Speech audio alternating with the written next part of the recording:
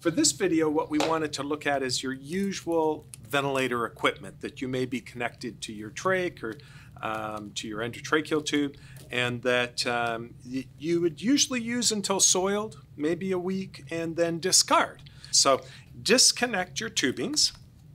I'm just going to set those on for right now. So this would be a dirty towel.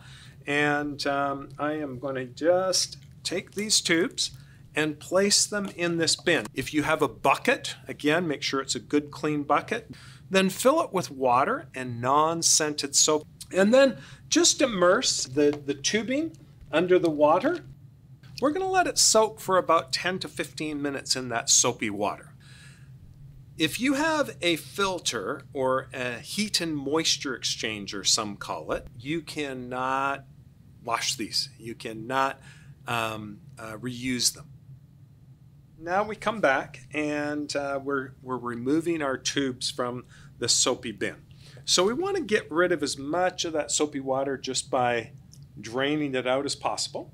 And then we just put that tube into a nice clean you know, bin of water. We um, are going to let it just soak again for, for at least a few minutes.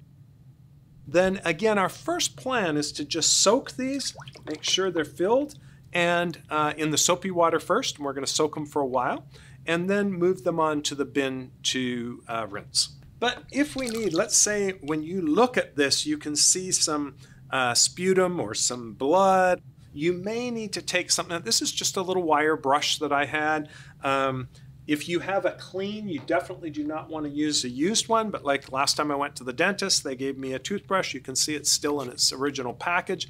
This would be nice, it's sterile, so um, you could use that if it'll fit in there to get it clean. Once that is clean, then just like with the tubings, we're going to put it into the rinse water, and that will apply to all your various little pieces that you would have with your ventilator circuit.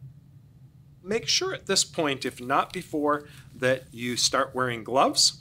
And when we take everything out, it's nice and clean, and we move to uh, placing a nice clean towel. Okay?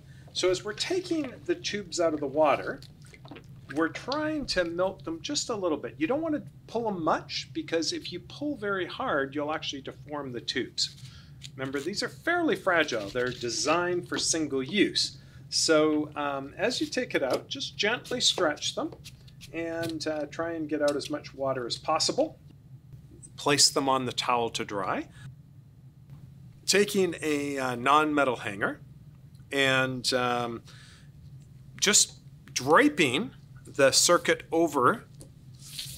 And then this can be hang, hung on any door jamb, preferably away from the bathroom. One last way that can be done, and that is using a pin. Okay, so I just took tonight, take a nice new clothespin so that we're not uh, contaminating it. And again, we can hang this now from a door jamb uh, and just let the full six foot tubing uh, hang down and drain, uh, helped by gravity.